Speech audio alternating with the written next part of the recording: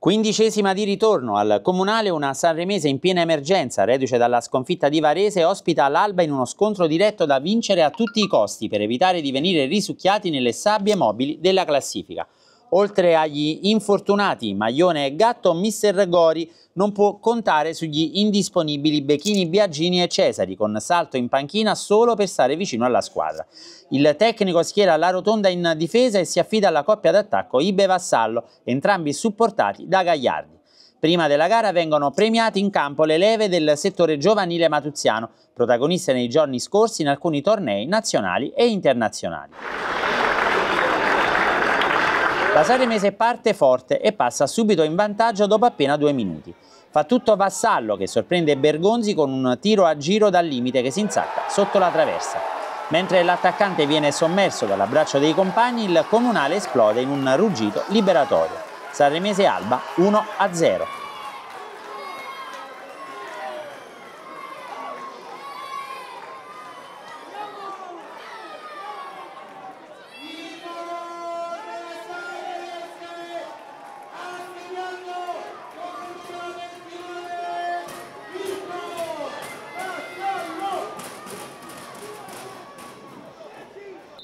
Gli ospiti replicano al quinto con una punizione di Marin. Boli para senza problemi. Al tredicesimo Gagliardi impegna severamente Bergonzi direttamente dalla bandierina. Il portiere smanaccia con un grande intervento e salva la sua porta. Al diciannovesimo Pietrelli in aria si coordina in acrobazia ma mette sul fondo.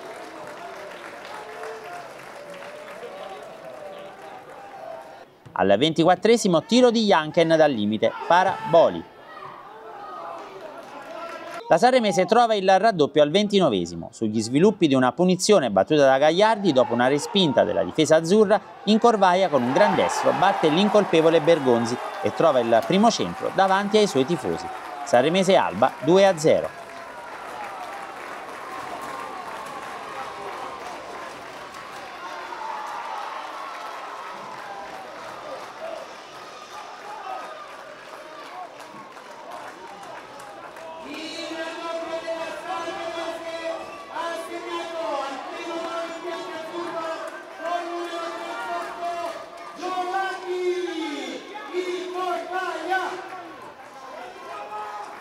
La gara si riapre al quarantesimo. Angolo di Galasso, stacco imperioso di Scotto, palla in rete. Si va al riposo con la Sanremese in vantaggio per 2 a 1.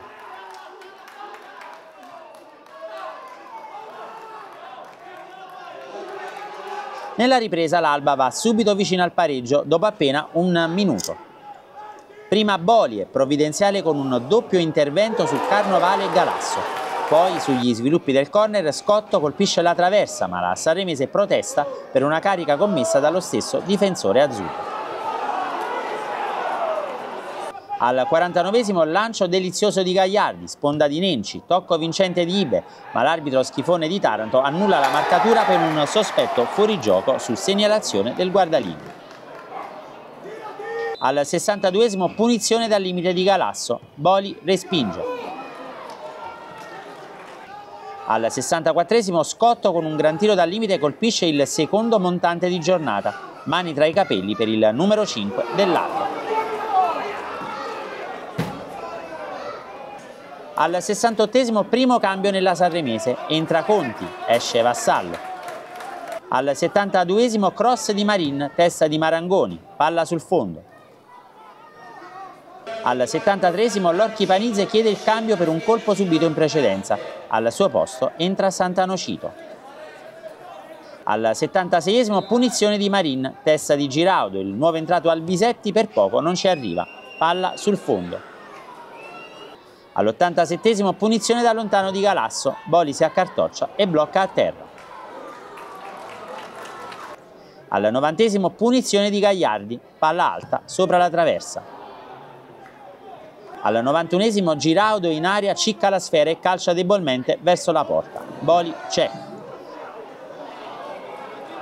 All'ultimo secondo del match Sant'Anocito ha la palla buona per chiudere la contesa, ma il centrocampista non riesce a calciare come dovrebbe.